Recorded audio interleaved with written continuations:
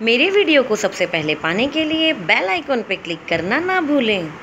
आज मैं आपको ढाबा स्टाइल आलू की सब्ज़ी बताने जा रही हूँ फ्रेंड्स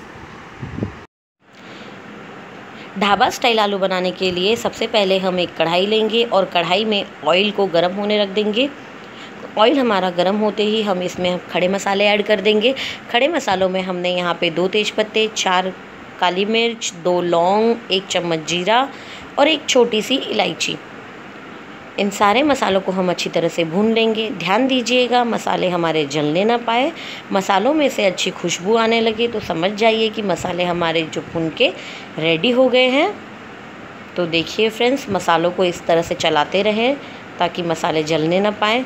मसाले हमारे फ्राई हो गए हैं। अब हम इसमें एक बड़ा प्याज बारीक कट करके इसमें ऐड करेंगे।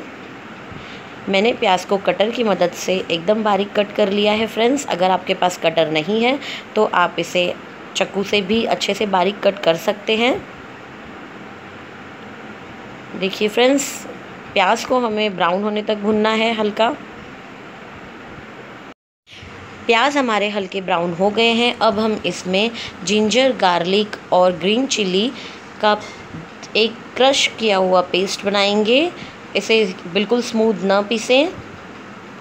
अब हम चार बड़े आलू ऐड कर देंगे। पैन का कवर हटाएँगे फ्रेंड्स। और अच्छी तरह से हम आलू को एक बार मिक्स कर लेंगे फ्रेंड्स, चला लेंगे। देखिए फ्रेंड्स, बिल्कुल इस तरह से। और अब हम इसमें दो मीडियम साइज़ के टमाटर ऐड करेंगे फ्रेंड्स। हल्दी ऐड करेंगे आधा चम्मच। और one tablespoon coriander powder धनिया पाउडर ऐड करेंगे फ्रेंड्स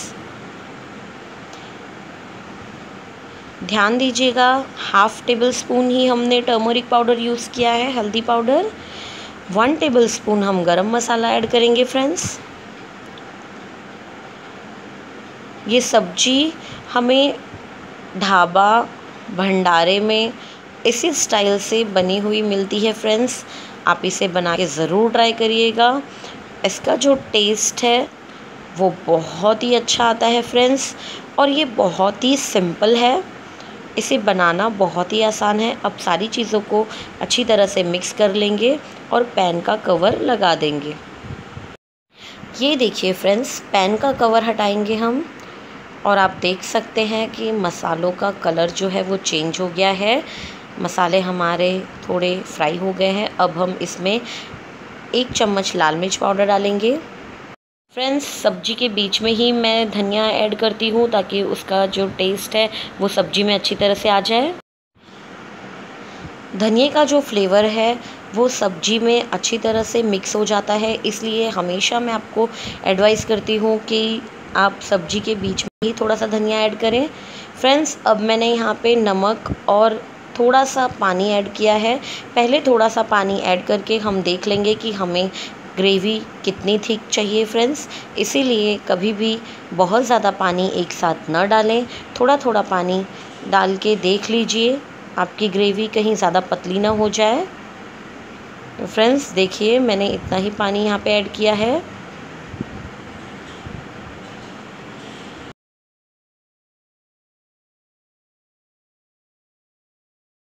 ये देखिए फ्रेंड्स सब्ज़ी हमारी अच्छी तरह से पक गई है। आप देख सकते हैं कि ऑयल भी हमारा साइड में दिख रहा है। ये बहुत ही सिंपल है फ्रेंड्स ये देखिए फ्रेंड्स पैन का कवर हटाएँगे और अब आप देख सकते हैं मैंने यहाँ पे थोड़ा सा धनिए का पत्ता बारीक कट किया हुआ ऐड कर दिया है। आप देख सकते हैं फ्रेंड्स कि हमारी सब्ज़ी का कलर कितना अच्छा आया है। अब इसे एक बार मिक्स कर लीजिए। ग्रेवी भी हमारी बहुत ज़्यादा पतली नहीं है फ्रेंड्स। मुझे बहुत ज़्यादा पतली ग्रेवी अच्छी नहीं लगती। इससे जो टेस्ट होता है मसालों का वो हमें खाने में नहीं आ पाता अच्छी तरह से स्वाद। तो अब हम पैन का कवर इस तरह से दो मिनट लगा के रखेंगे और उसके बाद हम इसे सर्व करेंगे। ये देखिए फ्रेंड्स हमारा ढाबा स्टाइल आलू की सब्ज़ी बिल्कुल रेडी है।